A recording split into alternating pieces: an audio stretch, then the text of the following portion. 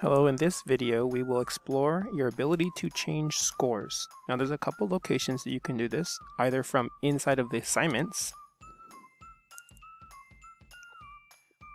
From inside assignments, you would locate the assessments themselves and you could open them.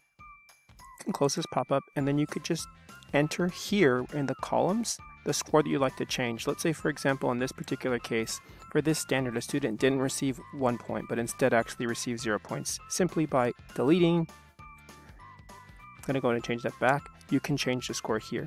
Okay. You could also click Launch Performance Grader. Now, this is all from the Assignments tab from my course navigation, but you can also go inside your Mastery Tracker. I'm going to go ahead and go there now. From Mastery Tracker, we can see that we're only looking here at the benchmarks as opposed to my tracker in its entirety. And if you're not sure, you could always come to the little tracker icon and only select benchmarks so that we're isolated to look at those. Now in this particular case, there are two different assessments we can always change grade for.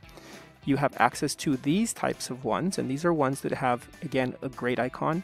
That is to indicate to us that they are a rubric-based test. This is something you may have administered outside of Mastery Connect, and you'd like to be able to change the scores for that. You have other ones, obviously, that maybe are grade off, and those are tests that could be taken inside of Mastery Connect. Not that they were, but they have the potential to be done so. Now, if I want to change your score, you can't click here.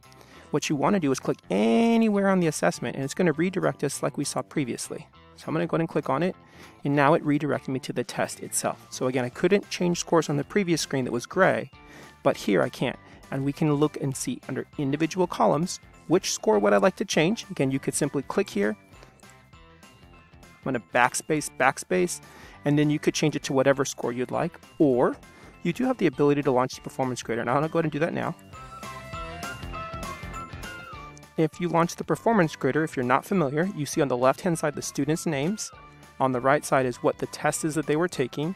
And you can edit the answers that your students had. So this would be more so if you wanted to change what was their response for an individual question. If you just simply wanted to be able to change the score that they earned based overall on a standard, you could have done that from the previous screen.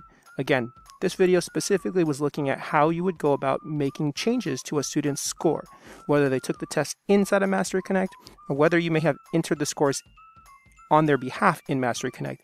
Now, there's one major distinction, and that is to say, if you are needing for a student to completely retake the test, maybe they took the test online in Mastery Connect and for whatever reason they made a mistake or maybe they didn't click all the answers, you have the option for the student to be able to retake those tests again in Mastery Connect. And if you want that to happen, please reach out to one of the content TOSAs or someone from CIA and we can assist you with that. But if you're just wanting to change the score either by standard or for a particular item through the performance grader, you can do that. And again, there are two places. You can either go through the assignments or you can go through Mastery Tracker find the test and click it.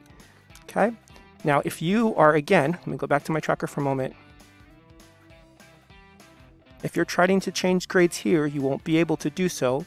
Once you're here inside of your mastery tracker, click on the assessment itself, at which point you'll be redirected to, to, a screen that looks like this, and then you could change either in the column the standard, the score that you'd like to change, as I mentioned, or the performance grader. If you have additional questions, please let us know. We want to be here to help. Thanks so much.